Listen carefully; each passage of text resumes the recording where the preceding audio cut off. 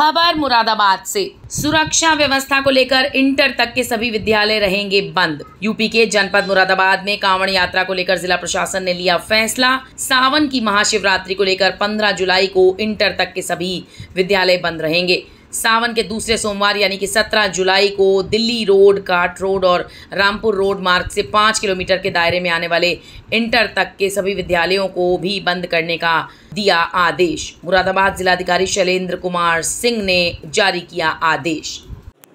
देखिए, कल 15 तारीख से 15 जुलाई को शिवरात्रि पड़ रही है। उसको दृष्टिगत रखते हुए सभी विद्यालय जनपद के कल बंद रहेंगे up to intermediate college intermediate college तक के सभी विद्यालय कल बंद रहेंगे। यहाँ तक सत्रह तारीख की जो द्वितीय सोमवार पड़ रहा है, उस दिन की बात है।